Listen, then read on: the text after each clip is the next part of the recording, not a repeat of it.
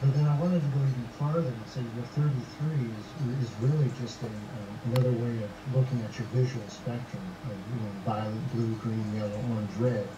So you have your six colors, and half of that is three, and, and then the other half would be three, or the idea of 33.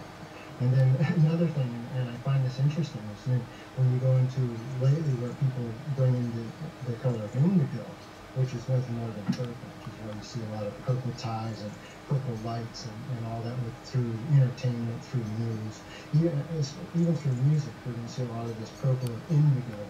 That then brings the idea of the 33 or the 6 system into what's, what's another digit or the 7, or the Zion, or the mind.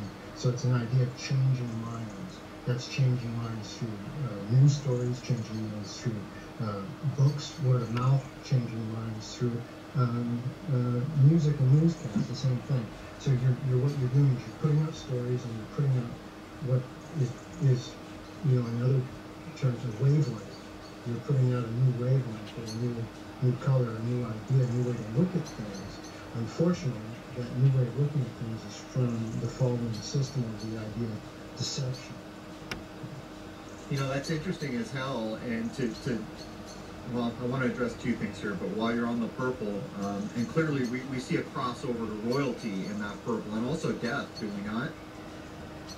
Well, yeah. I mean, if you if you think about the idea of the bruise, the, the bruise it, it, goes kind of from the the blue light into the indigo or into the purple. So you kind of see a blue bruise, and then you see an indigo. You know, you see a purple purpling as it, as it, as it kind of spreads underneath the skin. Even if you look at your veins through your skin, they're already blue.